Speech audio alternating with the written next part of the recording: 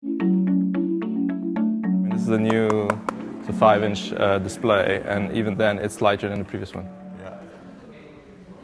And you can drop it. I can drop it. Yeah, it's designed to be uh, dropped. And that he does it with that confidence. Well, we've been dropping them uh, quite. Uh, it's been designed to survive a six, sorry, a, a six, uh, a six feet drop, which is basically this, uh, extensively, and uh, we've been testing it extensively. I've never seen a cracked display so far, so it's been designed with, with that in mind, without having that. It's not a, a ruggedized device, which is cumbersome and, and very nasty, but for the user, it's just a, a very standard form factor. It's slightly thicker than what you see normally, but you don't need to add an additional case. So most people just put in an additional case because the phone is just badly designed because it needs additional protection the moment you take it out of the box.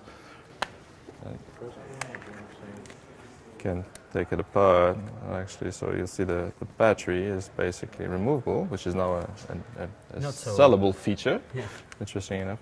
And the other thing that we're doing is basically ensuring that um, the user can repair his phone as easily as possible. So basically, I've just swapped away the display, which is uh, the part that breaks the most.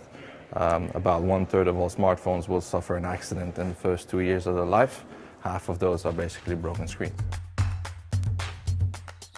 For example, the user could upgrade his camera module uh, later when there's new um, upgraded versions available or new functionality. We could think about um, having an infrared camera, just snap it on and just replace it, things like that.